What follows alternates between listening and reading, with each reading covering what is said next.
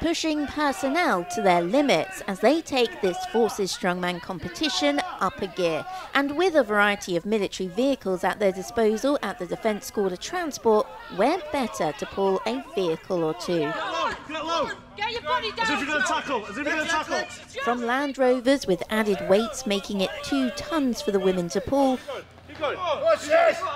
Keep going. There we go, there we go, there we go.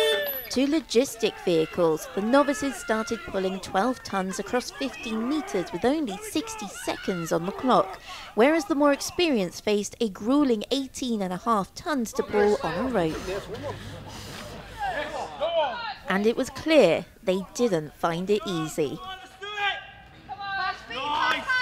How was that? Absolutely disgusting. Disgusting.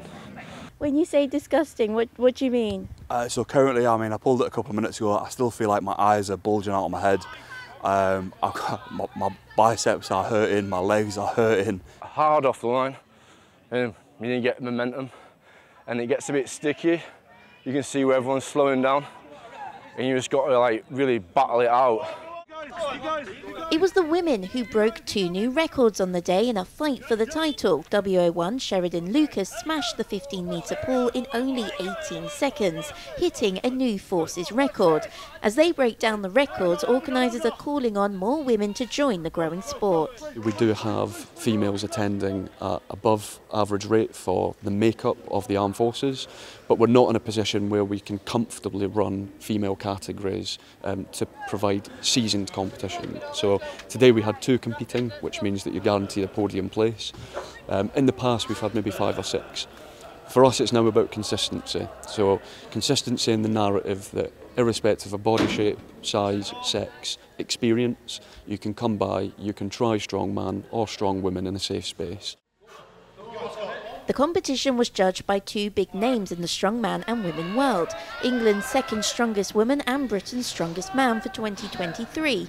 In this male dominated sport, they both hope to see more female competitors. It's not just that strongman comps are held in a gym and we're just given an ollie bar to lift overhead and to deadlift. It's we're actually given specialist kit. You know, today we've got three different logs for the girl, girls to try. You know, that they could try and they could do.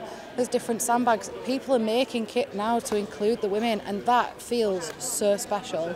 Because when I first started, it was, oh, the only log we've got is this. You're going to have to learn to press it, and that's why I progressed so quickly. Because it was, it was either make it or I don't.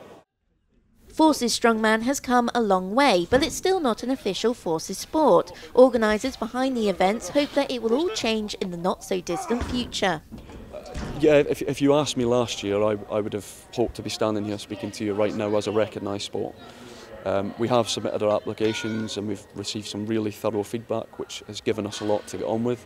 Hopefully, this time next year, at this event in Leconfield uh, in October 2025, um, I will be standing talking to you as a recognised sport. From the more familiar Fingal Fingers in the sporting world to the typical log press, there was more than enough for them to get their teeth into. Kirsty Chambers, BFBS Forces News, Leconfield. Thanks for watching. For more from BFBS Forces News, like and subscribe to our channel.